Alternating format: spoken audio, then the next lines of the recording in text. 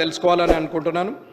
అలాగే అగ్రికల్చర్కి సంబంధించిన రుణమాఫీలో లక్ష రూపాయలది లక్షన్నరది ఈరోజు లక్షన్నర వరకు చేయడం అనేది రైతులకి ఇది శుభసూచకమే ప్రతిపక్షంలో ఉన్న ప్రభుత్వం వారు చేసిన మంచి పనికి రైతుల తరపున ధన్యవాదాలు తెలియజేస్తూ మిగతాది కూడా త్వరలోనే చేయాలని కోరుకుంటున్నాను. అలాగే ఇక్కడ ఎప్పుడైతే ప్యాడీ ప్రొక్యూర్మెంట్ చేయాలని అనుకున్నప్పుడు అక్కడ ఉన్నటువంటి ట్రాన్స్పోర్ట్ ఫెసిలిటీ కానీ అక్కడున్న మార్కెట్ వాళ్ళు కల్లాలల్లా తీసుకునేటప్పుడు కానీ అక్కడ ఉన్నటువంటి డ్వాక్రా గ్రూప్ల ద్వారా కానీ లేదా సిఓ ప్యాక్స్ ద్వారా కానీ ఏదైతే ప్యాడీని లిఫ్ట్ చేయాలని అనుకుంటున్నప్పుడు దానికి సంబంధించిన ట్రాన్స్పోర్ట్ లారీలు కానీ అక్కడ ఎత్తడానికి లేబర్ కానీ అందరినీ కూడా సమకూర్చి చేయాల్సిన అవసరం ఉంది.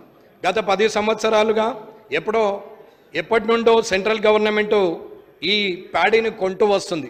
సెంట్రల్ కేంద్రంలో ఏ పార్టీ ఉన్నా ఏ ప్రభుత్వం ఉన్నా ఈ ప్యాడీని కొనడం మాత్రము ఆ ప్రభుత్వాలే చేస్తున్నటువంటి కార్యక్రమము. కానీ మధ్యలో ఉన్నటువంటి రాష్ట్ర ప్రభుత్వాలు ఎక్కడైనా సరే కమిషన్ మీదనే అది సర్వీస్ చేస్తూ ఆ లిఫ్ట్ చేయడం జరుగుతుంది. మన్మోహన్ సింగ్ గారు ఉన్నప్పుడు తీసుకున్నారు. అలాగే వాజ్పేయి గారు ఉన్నప్పుడు తీసుకున్నారు. అలాగే మోడీ గారు వచ్చిన తర్వాత కూడా తీసుకుంటున్నారు. అది కేంద్ర ప్రభుత్వ ఖచ్చితంగా కేంద్ర ప్రభుత్వం తీసుకుంటున్నటువంటి ప్యాడీ ప్రొక్యూర్మెంట్. దీంట్లో ఇవన్నీ కూడా ఎఫ్సిఐ నుంచి మొదలు పెడితే మార్క్ఫెడ్ కానీ ఇట రెవెన్యూ సంబంధించిన వాళ్ళు కానీ అక్కడున్న సిఓ ప్యాక్స్ కానీ అందరూ కూడా కలిసి ఎక్కడైతే రైతుల నుంచి పంట కళ్ళాలకు వస్తుందో ఆ కళ్ళం నుండి ఎత్తే ప్రయ ప్రయత్నంలో ఒక్కరోజు లారీ వెయిటింగ్ ఉండేటట్టు చూసి అక్కడి నుండి తీసుకురావాల్సిన అవసరం ఉంది. రైస్ మిల్లర్స్ అని అడిగితే పెట్టెలో ఆల్రెడీ నింపింది ఉన్నది ఆల్రెడీ గోడౌన్ నిండింది మా కళ్ళాల్లో కూడా పడ్డది వర్షం పడితే మాకు ఇబ్బంది అవుతుంది లారీ అక్కడి నుంచి లిఫ్ట్ కావట్లేదు ప్యాడీ లిఫ్ట్ చేస్తే తప్ప మేము తీసుకోలేమని రైస్ మిల్లర్స్ అంటారు. కళ్ళాల్లో అడిగితే లేబర్ లేరంటారు రెవెన్యూ అని అడిగితే ట్రాన్స్పోర్ట్ దొరకలేదని అంటారు.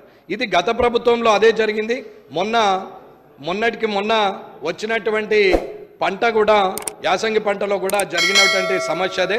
సరే అప్పుడు అందరము ఎలక్షన్లో బిజీ ఉండడం వల్ల రైతులకు ఇన్కన్వీనియంట్ జరిగింది కాబట్టి అది ఇంకొకసారి తిరిగి అలాంటి పరిస్థితి రాకూడదనేది ఆలోచించే అగ్రికల్చర్ డిపార్ట్మెంట్ వారు దయచేసి దీని మీద నిర్ణయం తీసుకోవాలని కోరుకుంటున్నాను. రెవెన్యూకు సంబంధించి ఇప్పటి వరకు కూడా రెవెన్యూ డిపార్ట్మెంట్లో విఆర్వే విఆర్ఏలు విఆర్ఓలు లేకుండా గ్రామీణ పరిస్థితి చాలా దరిద్రంగా తయారైపోయింది. ధరణి వచ్చిన తర్వాత ఎప్పుడో ఎప్పుడో ఉన్నటువంటి భూములు అవి మొటేషన్ చేసుకోక సాదాబైనామాల మీద కానీ పాస్బుక్ల ద్వారా తీసుకున్నా అక్కడ ఆర్ఓఆర్లో మొటేషన్ చేసుకోకుండా ఉండడం వల్ల అమ్మినటువంటి తాతలు అమ్మిన భూములు కూడా తిరిగి వాళ్ళ పేరు మీదనే ధరణిలో రావడం వల్ల అక్కడ ఉన్నటువంటి మిస్టేక్స్ వల్ల అవి భూములు గందరగోళం అయిపోయింది ఒకరి పేరు మీద ఒకరికి మారింది. మాడ్యూల్స్ ముప్పై మూడు ఉన్న తెలంగాణ ధరణిలో టీఏ మాడ్యూల్ ముప్పై మూడు ఉన్నా కానీ అందులో నుంచి అవి మార్పులకు చేర్పులకు కనీసం ఎంఆర్ఓలకు కానీ ఎవరికి అధికారం లేదు. సీదా collector collector to chief secretary chief secretary to CMO ఇది తప్ప ధరణిలో ఎవరికి మార్పులు చేర్పులు చేసే పరిస్థితి లేదు. ధరణి మీద కమిటీ వేసామని చెప్తున్నారు. ఇప్పటికి కూడా ప్రజలకున్న ఆస్తులు మొత్తం రెవెన్యూ కంట్రోల్లో ఉన్నాయి. రైతులకు సంబంధించిన ఆస్తులు భూముల రూపకంగా ఉంటాయి. ఈ రూపకంగా ఉన్నటువంటి భూములు ఆ ధరణి ద్వారా ప్రతి ఒక్కరికి ఇబ్బంది అవుతున్నది త్వరలోనే దీన్ని తొందరగా చేసి పెట్టాలనేది నా ఆలోచన. ఇకపోతే పంచాయతీరాజ్ డిపార్ట్మెంట్లో కొత్తగా మండలాలు ఏర్పాటు చేశారు. ఈ మండలాల్లో కనీసము అక్కడ ఉన్నటువంటి ఎండి అట్లాగే ఫారెస్ట్ డిపార్ట్మెంట్కి సంబంధించి పోడు భూముల కింద ఆర్ఓఎఫ్ పట్టాలు ఇచ్చారు. దివంగత నేత రాజశేఖర రెడ్డి గారు అప్పుడు ఆర్ఓఎఫ్ పట్టా ఇచ్చినప్పుడు రెండు వేల తొమ్మిదిలో డైరెక్ట్గా అక్కడ ఉన్నటువంటి ఫారెస్ట్ను వాళ్ళతో మాట్లాడి వారికి ఆ పట్టాని ఇచ్చి వాళ్ళకు పొజిషన్ ఇవ్వడం జరిగింది. ఆ పట్టాలకు మాత్రం ఎప్పుడు ఫారెస్ట్ వాళ్ళు రాలేరు.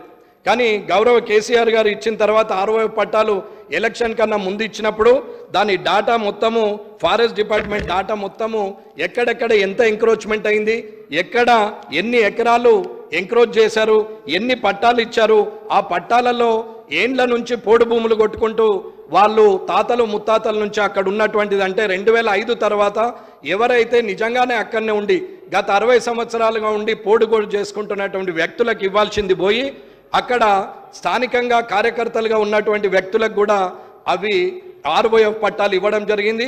అవన్నిటికి కూడా ఇక్కడ ఆధారాలు ఉన్నాయి. నేను వట్టిగా మాట్లాడితే ఇది అన్ని ముప్పై మూడు జిల్లాలకు సంబంధించినటువంటి ఇది ఆధారాలు. ఖచ్చితంగా ఇది ఫారెస్ట్ డిపార్ట్మెంటు. ఎవరైతే సీసీఎఫ్ ఉన్నారో మీరు ఒక్కసారి పిలుచుకుంటే మంత్రి గారికి అన్నీ తెలుస్తాయని చెప్తున్నాను. ఇకపోతే పోలీస్ డిపార్ట్మెంట్. అన్న మీకు రక్షణ ఉన్నా మాకు రక్షణ ఉన్నా గ్రామీణ స్థాయిలో రక్షణ ఉన్నా ఆ ఆపతున్నది అని అంటే ఫస్ట్ పోయేది పోలీస్ స్టేషన్.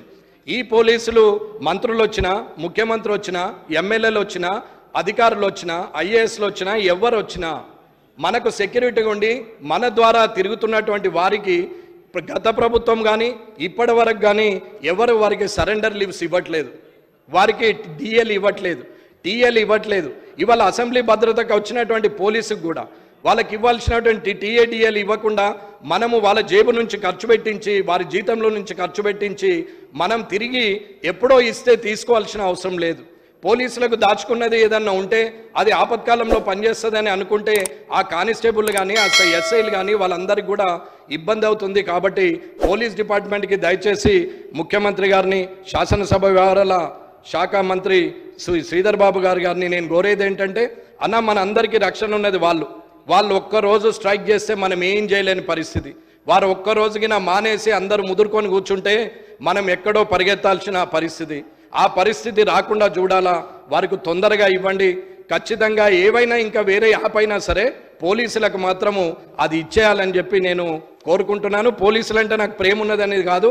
కానీ పోలీసులు ఇస్తున్నటువంటి భద్రత వల్ల వారు అభద్రతా భావానికి ఆర్థికంగా ఉండద్దు అనేది అధ్యక్షుల ద్వారా నేను మంత్రివర్యులకు తెలియజేస్తాను. కాబట్టి అలాగే ఇప్పటి వరకు జోనల్ ప్రమోషన్స్ ద్వారా ఏవైతే జోనల్లు పెట్టిరో ఇంతకుముందు ఆదిలాబాద్ నుంచి ఇటు మెదక్ వరకు ఉండేది. అక్కడ ఆదిలాబాద్ నిజామాబాద్ మెదక్ అనుకుందాం. అలాగే ఇప్పుడు ఏమైంది? కామారెడ్డి నుంచి అటు కరీంనగర్ సిరిసిల్ల రాజన్న సిరిసిల్ల జోన్ చేశారు ఈ జోన్ చేయడం వల్ల పోలీసులకు ఏవైతే ప్రమోషన్స్ రావాలనో అవన్నీ తేడా అయిపోయి రావాల్సిన వాళ్ళకి రావలేదు. ఎవరైనా ఒక్కసారి దాన్ని కూడా జోనల్ దాన్ని కూడా రీసెటిల్ చేయాలని కోరుకుంటూ త్రీ వన్ సెవెన్ జీరో కానీ జీవో ఫార్టీ సిక్స్ కానీ ఇవన్నీ కూడా ఉద్యోగస్తులకు చాలా ఇబ్బంది ఉంది చదువుకున్న యువతకు కూడా ఇబ్బంది ఉంది కాబట్టి మీరు అందరూ కూడా దాన్ని త్రీ వన్ సెవెన్ను కూడా ముఖ్యమంత్రి గారు రీసెటిల్ చేస్తామని చెప్పారు. తిరిగి పునరాలోచించి అది కూడా చేయాలని అనుకుంటున్నాం. అలాగే ఎక్స్ ఎమ్మెల్యేలు ఎక్స్ ఎంపీలు ఎక్స్ ఎమ్మెల్యేలు ఎక్స్ ఎంపీలు ఉన్నారు. లో అంటే రెండు టర్ములు మూడు టర్ములు చేసిన వాళ్ళు ఉన్నారు ఒక టర్ము చేసిన వారందరూ కూడా భద్రాచలం కానీ కొత్తగూడెం కానీ ఆదిలాబాద్ కానీ ఆసిఫాబాద్ కానీ అడవి ప్రాంతాలు ఏవైతే ఉన్నాయో వాళ్ళందరిట్లలో కూడా సంచరిస్తూ ఉంటారు కాబట్టి వాళ్ళందరికి కూడా గన్మెన్లు తీసేయడం జరిగింది. కానీ ఓ రేపు కూడా మనం కూడా మాజీలమైతుండొచ్చు. మనకు కూడా అటువంటి పరిస్థితి వచ్చినాడు. ఇబ్బందిగా ఫీల్ అయ్యే పరిస్థితి వస్తుంది కాబట్టి మీరు ఖచ్చితంగా అందరు నేను పార్టీల పరంగా చెప్పట్లేదన్న. నేను శాసనసభ్యుల గురించి చెప్తాను నన్ను నాకు సమాధానం. అన్న నాకు ఇది ఇవ్వాలి అనేది నేను కోరుతున్నాను ప్రత్యేకంగా. అన్నది ఖచ్చితంగా అక్కడ ప్రాంతాల్లో చాలా ఇబ్బంది ఉంటుంది. కాబట్టి వాళ్ళందరికీ కూడా తిరిగి గన్మెన్స్ని ఇవ్వాలి. అన్న ఉద్యమకారులు ఉద్యమం చేసినటువంటి వ్యక్తులు. ఎవరైనా సరే అది కోదండరామ్ గారు కావచ్చు పిడమర్తి రవి గారు కావచ్చు వీళ్ళందరూ నాకు ముఖాముఖిగా పరిచయం లేదు. కానీ ఏండ్ల తరబడి ఉద్యమం పద్నాలుగు పదిహేను సంవత్సరాలు ఇరవై సంవత్సరాలుగా తెలంగాణ కోసం కొట్లాడినటువంటి వ్యక్తులు రాజకీయ లబ్ధి కోసమని కాకుండా తిరిగినటువంటి అటు అటువంటి వ్యక్తులకు కూడా రేపు పొద్దున ఇబ్బందులు అయ్యే పరిస్థితి ఉంటుంది కాబట్టి నేను ఉద్యమకారులకు కూడా ఇవ్వమని చెప్తున్నాం తప్ప వారికి ఉన్నటువంటి పరిస్థితులను బట్టి ఒకసారి ప్రభుత్వం పునరాలోచించాలనేది నేను కోరుకుంటున్నా. అట్లాగే అన్న ఒక్క చిన్న అధ్యక్షుల వారి అధ్యక్షుల వారి అనుమతితో ఒక రెండు నిమిషాలు. అధ్యక్షుల వారి అట్లాగే ఫారెస్ట్ డిపార్ట్మెంట్లో ఇప్పటి వరకు తెలంగాణ కంపెనీ ఏదైతే ఉందో జిటాన్ ట్రేడింగ్ కార్పొరేషన్ అని చెప్పి తెలంగాణ కంపెనీ ఉంది. ఈ తెలంగాణ కంపెనీ కోర్ట్ ఆర్డర్ వచ్చినా కానీ గత ప్రభుత్వం కానీ ఇప్పటి వరకు అది కోర్ట్ ఆర్డర్ను చూసుకొని కాబట్టి కోర్ట్ ఆర్డర్ను చూసి కొంచెం ఆ ఫారెస్ట్ అధికారులు ఫారెస్ట్ శాఖ మంత్రి ఖచ్చితంగా అది కోర్ట్ ఆర్డర్ను ఒబే చేయాలని కోరుకుంటూ మీ అనుమతితో ఒక్క రెండు నిమిషాలు అందరికి సంబంధించిన విషయం. అన్న నేను కొత్తగా ఈ సభలోకి వచ్చినాం. నేను నిన్న కూడా చెప్పినాం. సభ ద్వారా ఎన్నో మాట్లాడాలా ప్రజలకు పనికొచ్చే మాటలు మాట్లాడాలని చెప్పి నేను కూడా అనుకున్నాను. ఒక్క రెండు మూడు నిమిషాలు ఇవ్వండి దీని గురించి. అన్న నేను రాత్రులు కూర్చుండి డేలో కూర్చుండి కొత్తగా స్కూల్కి పోయినోడు రాసుకున్నట్టు రాసుకుంటున్నాను ఇది ఈ సబ్జెక్టులన్నీ కొత్తగా స్కూల్కి పోయినాడు కొత్త బ్యాగ్ వేసుకొని ఎట్లా పోతాడో అట్లా వస్తున్నాం. వీడికి వచ్చి చూస్తే ఏమవుతున్నది ర్యాగింగ్ లాగా ఉన్నది అన్న నేను ఎవరిని ఉద్దేశించి మాట్లాడు దయచేసి యాభై మంది కొత్తలు ఉన్నాము ఇంకొక అరవై మంది పాత వాళ్ళు ఉన్నారు చాలా సీనియర్లు ఉన్నారు. అన్న మార్గదర్శకంగా ఉండాలనేది నా ఆలోచన. సభ నడుస్తుంటుంది. సభ్యుడు మాట్లాడుతుంటాడు. ఒక నలుగురు అక్కడ నిలబడి మాట్లాడతారు. ఒక ముగ్గురు ఇక్కడ నిలబడి మాట్లాడతారు. సభ నడిపేటప్పుడు కనీసం సభా సంస్కారం ఉండాలి. మనం మాట్లాడకూడదు. సభాధ్యక్షుడు చూస్తాడు అనే ఆలోచన ఉండాలి. శాసనసభ వ్యవహారాల మంత్రి గారికి నేను కోరేది ఏంటంటే అన్న రేపటికి మనం మార్గదర్శకంగా ఉండాలని కోరుకుంటున్నాం. కొత్తగా వచ్చిన పోయి రేపు పొద్దున మారకపోతావా నేను చూడకపోతానా అని ఎవరన్నా అనుకుంటుండొచ్చు మనసులో. నేను మారే వ్యక్తిని కాదన్నా రాజకీయాలకు నేను కొత్త కాదు నేను జిల్లా పరిషత్ చైర్మన్గా చేసిన నిజాయితీగా గెలవాలని చెప్పి ఇన్ని సంవత్సరాలు పట్టింది తప్ప ఏదో వ- వంకర తోవల గెలవాలనుకుంటే ఎన్నడో వచ్చేవాడిని కానీ ఇవాళ కూడా అందరూ కష్టపడే వచ్చినా ఇక్కడికి వచ్చిన తర్వాత మారుతున్నారా? లేకపోతే ప్రజల్లో మాట్లాడే మాటకు అక్కడున్న సీరియస్నెస్ ఇక్కడ ఉండదా అనేది నాకు అర్థం కావట్లేదు. అన్న ఒక సభ్యుడు మాట్లాడుతూ ఉంటారు మొన్న పెద్ద ఆయన అన్నాడు నేను మాట్లాడేటప్పుడు ఎవరు ఉండరు అందరు పోతారు నేను అయినా సరే రికార్డులో ఉంటుందని మాట్లాడాల్సి వస్తున్నది అని చెప్పాడు. అన్న సభలో ఉన్న సభ్యులు అందరూ కూడా వింటే మాట్లాడే వ్యక్తికి ఉత్సాహం ఉంటుంది. మాట్లాడిన మాటకు విలువ ఉంటుంది. నోటైన మాట మీ ద్వారా ఉన్న ఇక్కడ నూట పంతొమ్మిది మంది ద్వారా అన్ని నియోజకవర్గాలకు వెళ్ళే పరిస్థితి ఉంటుంది. అది చేయాల్సింది పోయి అందరం ఇష్టం ఉన్నట్టే వెళ్ళి వస్తున్నాం సరే టీ బ్రేక్ అని ఉదయం పది గంటలకు స్టార్ట్ అయితే ఒక పన్నెండు గంటలకు టీ బ్రేక్ ఇచ్చిన అందరూ ఒకసారి పోయి ఒకసారి వస్తారు. ఇది నడుస్తూనే ఉంటుంది పోయేటోళ్ళు పోతుంటారు వస్తూనే వచ్చేస్తూనే ఉంటారు. కాలేజీల స్కూల్ డే కాలేజీల ఇంటర్మీడియట్ పిల్లల్ని చూసినట్టు అవుతున్నది తప్ప టీచర్ అటు చూసేసరికి ఒక పీరియడ్ అటండి ఈయనకెళ్ళి వెనక డోర్లకి వెళ్ళి వెనకకి వెళ్ళిపోయినట్టున్నది ఇది పరిస్థితి అన్న అన్న నేను ఎవరిని అవమానించట్లేదు. ఈ సభ అంటే నాకు గౌరవం ఇది చట్టసభ. ఈ చట్టసభలో ఖచ్చితంగా అందరం గౌరవంగా ఉండాలా? రేపు పొద్దున రాజకీయాలు నేను ద్వేష కక్ష ద్వేషాలతో ఉండాలని నేను కోరుకోవట్లేదు. అందరితోని మంచే ఉండాలి కానీ మంచిని మంచి అనాలా చెడుని చెడు అనాలా? అన్న ఇవాళ రుణమాఫీ ఉంది. నాకు అవసరం లేదు నేను రావద్దని అనుకోవచ్చు.